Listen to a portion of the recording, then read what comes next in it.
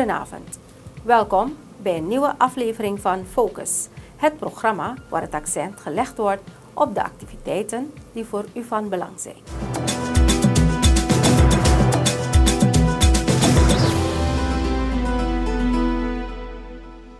Vandaag in Focus president Santoki aangekomen in Beijing.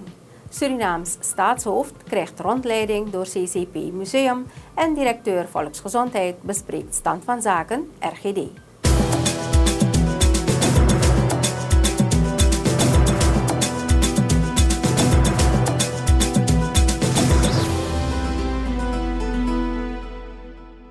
Op uitnodiging van de Chinese regering is een delegatie onder leiding van president Chandrika Persat Santokhi gearriveerd in de Chinese hoofdstad Beijing.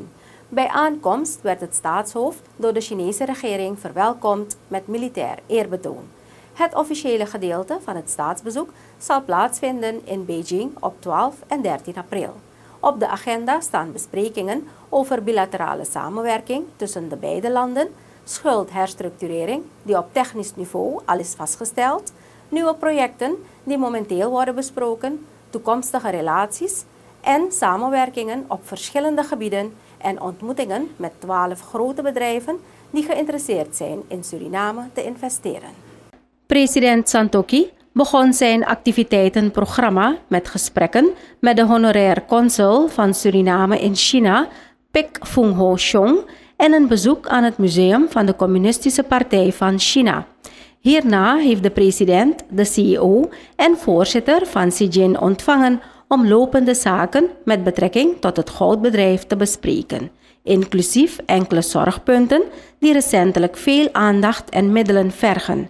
De CEO van CIGIN heeft aangegeven tevreden te zijn met de activiteiten en resultaten van CIGIN Suriname en kijkt uit naar uitbreidingsmogelijkheden. De presidentiële delegatie heeft in de vooravond de in Beijing en omgeving studerende Surinaamse studenten ontvangen en met hen van gedachten gewisseld over het studeren in China. Vervolgens heeft de president het bedrijfsleven, die ook is meegereisd uit Suriname, toegesproken. Morgen zal het formele programma afgewerkt worden in verband met het staatsbezoek. Dit bestaat uit formele gesprekken met verschillende leiders in China, waaronder de president en de premier van China en de voorzitter van het politieke orgaan van de CCP.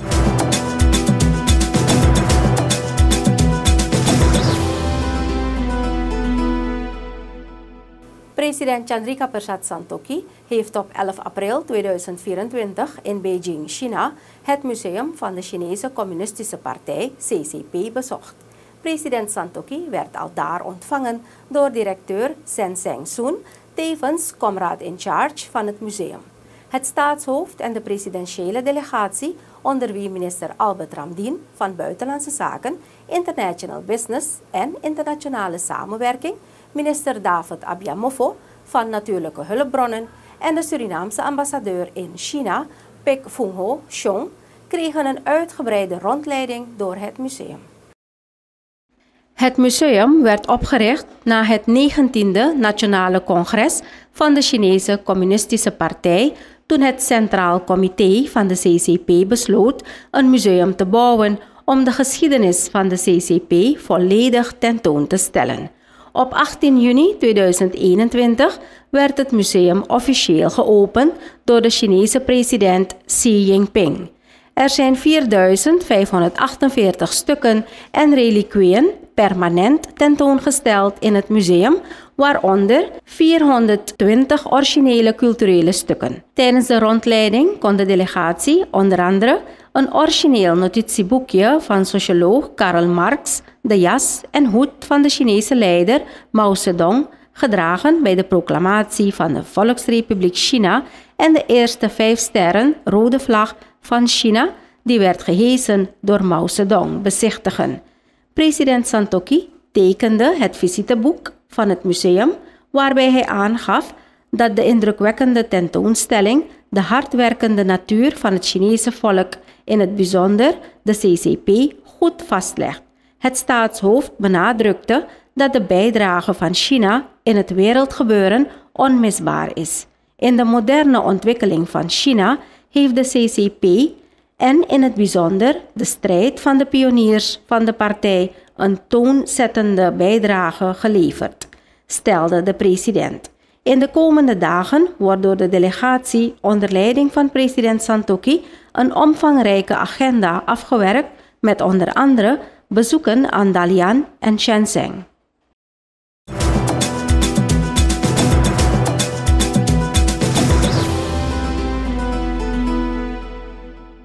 Personen die gebruik maken van de diensten van de polyklinieken aangesloten bij de Stichting Regionale Gezondheidsdienst RGD hebben te maken gekregen met acties van het verplegend personeel. Om wat meer duidelijkheid omtrent deze situatie te krijgen, spraken wij Rakesh Gayadar Sukul, de directeur van het ministerie van Volksgezondheid.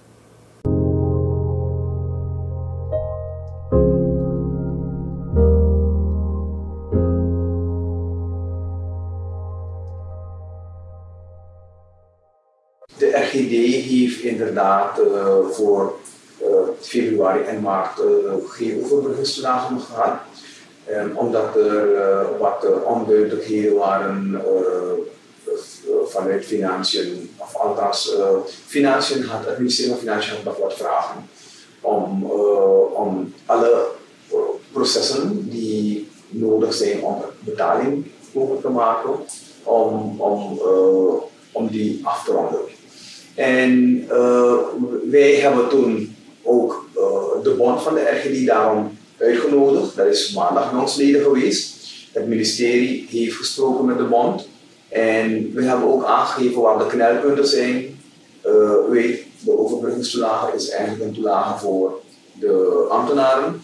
De, en de, de RGD is ook mee mogen liften ermee. En uh, in principe primair bedoeld voor de ambtenaren. En omdat er andere zaken ook aanwezig zijn bij, bij, de, bij de, de instellingen, zoals RGD, zijn er uh, op meerdere zaken. Dus vandaar dat de uitbetaling niet uh, zonder meer uh, wordt gedaan zonder verduidelijking. We hebben de bond uh, daarop ook gewezen. Het, uh, het, ministerie heeft samen met het ministerie van Financiën lobbywerk verricht, nagegaan wat er gedaan kan worden. En uiteindelijk zijn wij nu wel uh, bezig om alle administratieve processen in orde te maken of af te ronden, want we waren daar al bezig om te doen. Maar nu moeten we het afronden vanwege het feit dat er een aantal zaken waren die, uh, die, nog, uh, die nog moesten plaatsvinden. En, en willen we eind van deze maand wel zover zijn om, om de achterstallige betaling uh, in te lopen. De achterstallige betaling van de overbruggingstoelagen naar het personeel toe. RGD die was ook zelf ingekomen, waardoor wij met RGD ook gaan gaan onderhandelen over dat gedeelte. Maar feit is, het personeel die staat omdat de overbruggingstoelage voor februari en maart nog niet is uitbetaald. Dus wij willen in principe dat deze maand nog die achterstallige betaling plaatsvindt en die van april ook uh, direct uitgekeerd wordt. De samenleving heeft inderdaad heel veel last van en we hebben de RGD ook opgewezen van hey, uh, laten we de samenleving toch nog dienen. We hebben dit al in het verschiet. Uh, en uh, laten we eigenlijk uit deze impasse komen. We hebben daarom uh, maandag een goed gesprek gehad. Men zou teruggaan naar de leden en dat is dus vandaag. Men gaat vandaag terug naar de leden. En belangrijk is dat wij, kijk, ze hebben meer informatie ook nodig om aan de leden te verstrekken. Dat hebben we ook vanmorgen gedaan met hun. En, of aan hun. En wij, wij, hebben, wij rekenen op hun, op hun expertise en hun medewerking om de dienstverlening aan de samenleving te hervatten.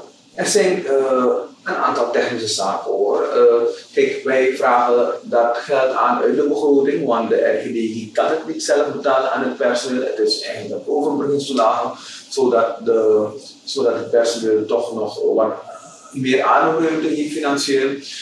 En, en uh, die komt uit onze begroting en elk, elk bedrag dat uit onze begroting betaald moet worden, moet volgens kantabele regels gebeuren. Dus het is een heel proces, een hele keten, waarbij het ministerie van Financiën ook het recht heeft om vragen te stellen bij onduidelijkheden. Die vragen zijn ook gesteld, er is antwoord gegeven, er zijn wat zaken ook gebleken die uh, verder uh, uh, informatie behoefden bij het ministerie van Financiën. Die zijn nu al eigenlijk aan verstrekt. En nu is het gewoon afronden zo snel mogelijk, zodat, zodat er zodat er betaling kan plaatsvinden. En bijvoorbeeld is zonder bepaalde een, schriftelijke uh, notitie van de minister, uh, zonder zo'n beschikking kan je, kan je, kan je zo'n proces ook niet afronden. Dat is een van de zaken waarbij, uh, waar, waarop je gaat moeten wachten om comptabel deze gelden uit te geven. Aan de andere kant, de minister gaat dat zeker niet doen wanneer er bepaalde antwoorden niet zijn gegeven door bepaalde medewerkers. Dus zo zijn er zaken die, die ervoor gezorgd hebben dat de uitbetalingen uh, niet op tijd plaats konden vinden. Ten eerste behoeft RGD alle informatie te verstrekken aan het ministerie van Volksgezondheid. Wie betaald wordt bijvoorbeeld. En, en een, een, hele uitdraai. Want alleen dan kan er gecontroleerd worden of uh, dat geld op de juiste manier uitgegeven wordt.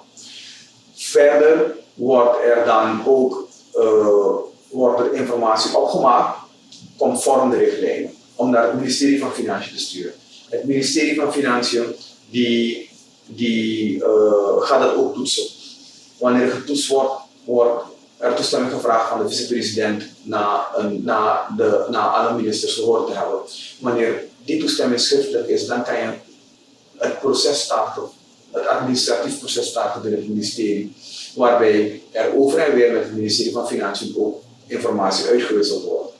En wanneer dat uh, proces afgerond is, dan komt er in principe een schriftelijke uh, toestemming dat er betaald wordt door het ministerie van Financiën. Maar dat zijn, dat zijn uh, zaken, eigenlijk gedetailleerde zaken, die, die eigenlijk moeten plaatsvinden omdat het onderdeel is van, het, van de contabiliteitswet. Dus daarom, ik, het zijn gedetailleerde zaken die wat minder belangrijk zijn voor vele partijen.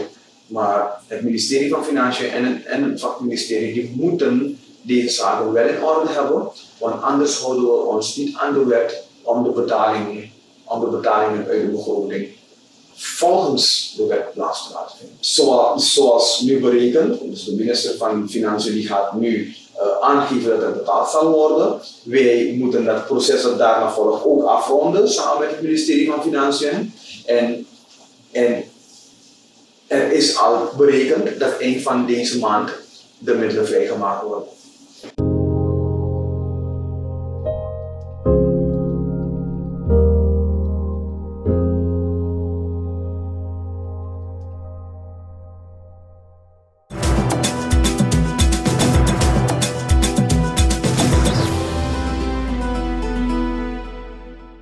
Kijkers, tot zover Focus. Bedankt voor uw aandacht. Goedenavond.